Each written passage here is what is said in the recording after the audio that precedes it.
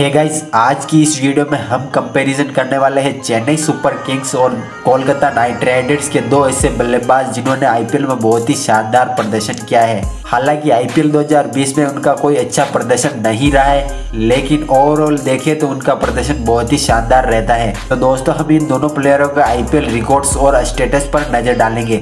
तो दोस्तों, वीडियो बहुत ही इंटरेस्टिंग होने वाला है तो वीडियो को अंत तक ज़रूर देखें। दोस्तों, अगर चैनल पर नए आए तो चैनल को सब्सक्राइब ज़रूर करें। दोस्तों, आज की इस वीडियो में हम कंपैरिजन करने वाले हैं अंबाती राइडो और दिनेश कार्तिक के बीच। दोस्तों अंबाती राइडो आईपीएल में चेन्नई सुपर किंग्स की टीम की ओर से खेलते हैं। वहीं दिनेश कार्तिक कोलकाता नाइट राइडर्स की टीम की ओर से खेलते हैं। अंबाती राइडो ने आईपीएल में 2010 में डेब्यू किया है। वहीं दिनेश कार्तिक ने 2008 में डेब्यू किया है। अंबाती राइडो का आईपीएल प्राइस 2.20 करोड़ है। वहीं दिनेश कार्तिक का आईपीएल प्राइस सात दशमलव चार ज़ीरो करोड़ है। अंबाती राइडो का बैटिंग स्टाइल राइट हैंडेड है। वहीं दिनेश कार्तिक का बैटिंग स्टाइल भी राइट हैंडेड है।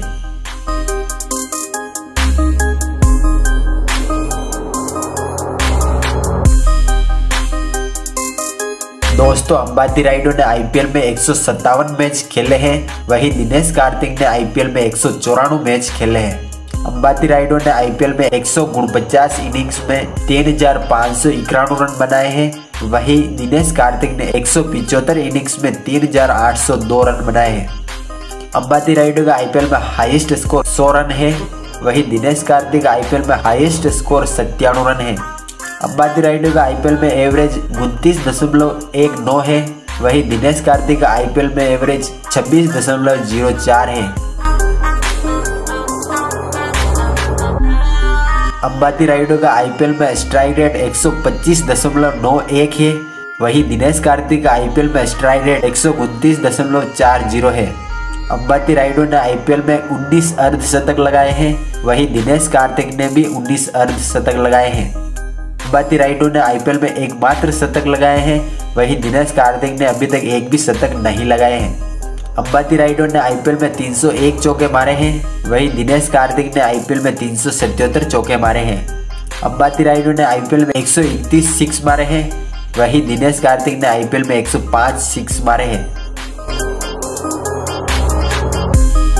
तो दोस्तों, ये था इन दोनों प्लेयरों का आईपीएल में प्रदर्शन। दोस्तों, आपके हिसाब से इन दोनों प्लेयरों में से बेस्ट प्लेयर कौन सा है और आपका फेवरेट प्लेयर कौन सा है? तो दोस्तों, कमेंट करके ज़रूर बताएँ। दोस्तों, अगर वीडियो पसंद आए तो वीडियो को लाइक करें और चैनल को सब्सक्राइब ज़रूर करें।